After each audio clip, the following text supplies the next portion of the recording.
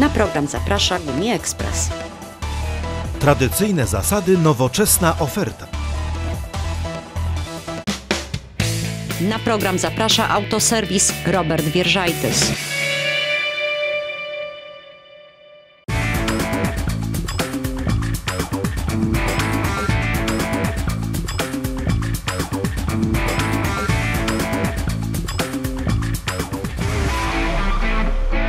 Dariusz Woźniak, witam serdecznie Państwa w kolejnym wakacyjnym odcinku magazynu z Zakółka. E, A jak wakacje, to i wyjazdy e, na urlop. E, A w dzisiejszym odcinku właśnie powiemy sobie, jak zmniejszyć sobie koszty takiego wyjazdu wakacyjnego bliższego bądź dalszego. Zapraszam serdecznie Państwa do obejrzenia dzisiejszego odcinka. Szanowni Państwo, koszty podróży do bliższego bądź dalszego naszego celu oczywiście znacząco może się różnić, ale zawsze największym kosztem tej naszej podróży jest koszt paliwa. E, oczywiście sam koszt podróżowania znacznie będzie się różnił od odległości, e, jaką mamy do pokonania, ale należy przyjąć, że im więcej kilometrów mamy do przejechania, im bardziej zadbamy o pewne elementy, tym więcej będziemy mogli po prostu zaoszczędzić pieniążków. E, Sam sposób e, czy czas nawet zatankowania naszego auta e, do podróży znacząco może się różnić e, tankowanie w tygodniu, w dni powszednie od tankowania w weekendy, gdzie niektóre stacje po prostu mają ceny e, promocyjne, kilka, kilkanaście groszy może być cena niższa e, niż w dni powszednie i tutaj na całym zbiorniku już możemy jakąś kwotę sobie e, oszczędzić. Oczywiście znaczący wpływ na zużycie paliwa przez nasze auto ma jego stan techniczny oczywiście. Stan układu paliwowego, wtryskowego. Jeżeli nie, nie mamy w pełni sprawnego tego e, elementu, czy też elementów współpracujących, typu chociażby nawet sonda lambda, może bardzo, bardzo wpłynąć e, na zużycie e, tego dro- drogocennego przecież dla nas płynu. Układ hamulcowy, jeżeli nie zaglądamy do niego, jeżeli nie czyścimy zacisków, niektóre elementy mogą trzeć o siebie, typu klocki mogą nie odbijać od tarczy, raz, że powodują to nadmierne przegrzewanie tarcz, dwa, opór dla auta, dla silnika powoduje zwiększone zużycie e, paliwa.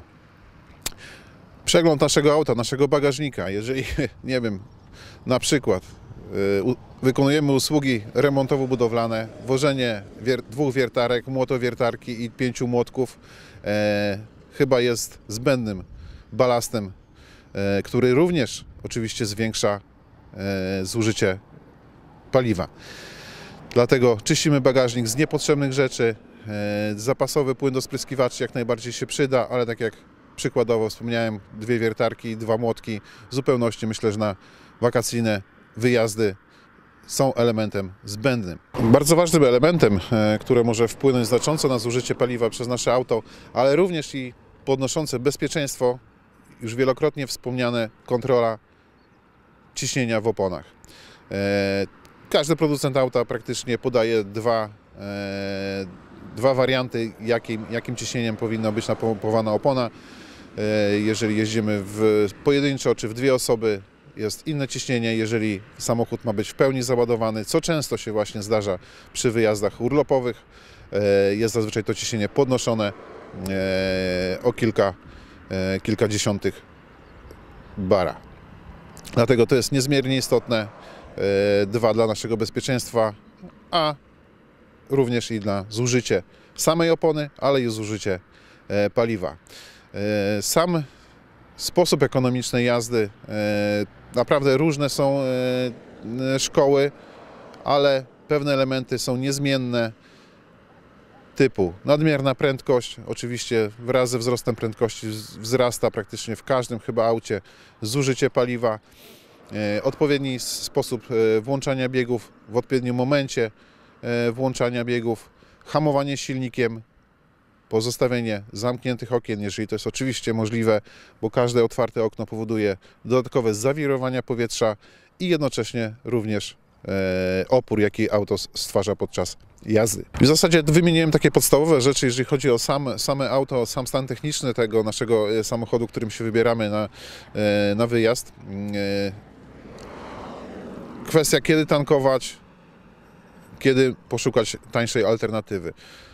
E, Oczywiście, jeżeli w dalszą podróż je- jeździmy, jeździmy autostradami, no chyba każdy wie, że przy autostradzie to paliwo jest jednak najdroższe, no z racji tytułu, że stacji jest bardzo mało, no i jest to po prostu wykorzystanie e, sytuacji, że musimy po prostu zatankować i nie mamy takiego wyboru. Oczywiście w większych aglomeracjach, dużych miastach, gdzie konkurencja e, jest, co kilkaset metrów potrafi być stacja, czy też wręcz naprzeciwko siebie e, różnych, różnych e, marek, e, ta sytuacja jest zupełnie odmienna.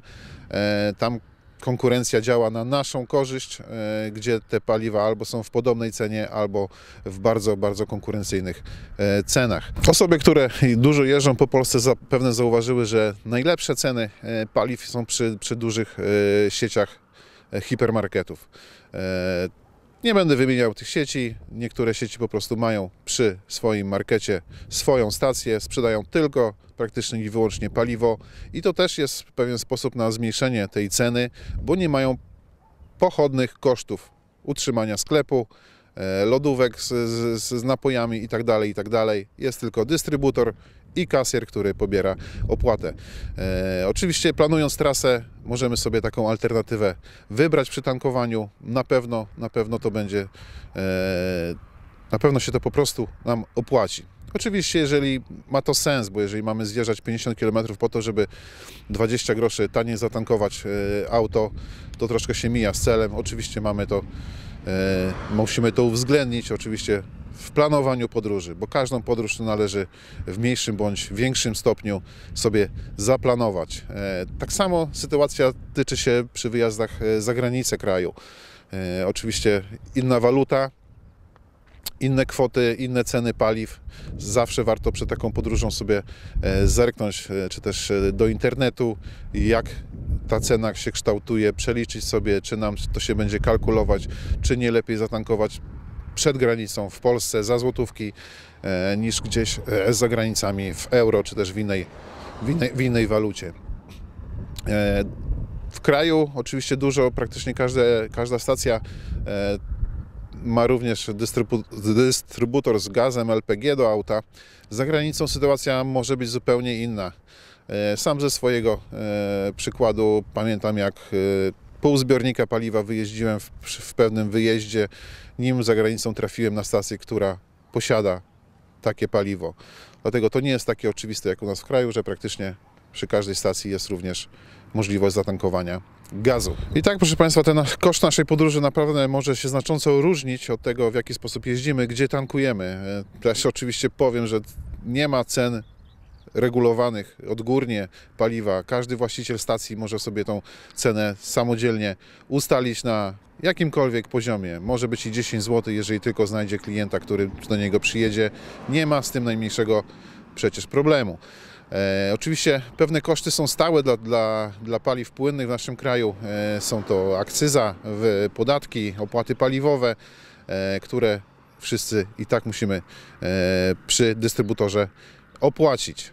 E, Także właściwie zaplanowana e, podróż, rozeznanie się troszkę, gdzie można zatankować, jak jeździć. Chwila, spojrzeć w auto, spojrzeć do bagażnika, czy nie, my te, czy nie mamy tego e, niepotrzebnego ciężaru. Oczywiście wszelkie bagażniki na dachu również mają wpływ na to, e, czy to nasze auto mniej czy więcej zużyje tego paliwa. Może sposób przewożenia rowerów zamiast na dachu, może z tyłu na platformie czy na e, wieszaku na hak montowanym, e, oczywiście również wpłynie na to, czy nasze auto mniej zużyje. E, także życzę Państwu taniego tankowania po prostu w te wakacje i szerokiej drogi. Dziękuję, do zobaczenia za tydzień.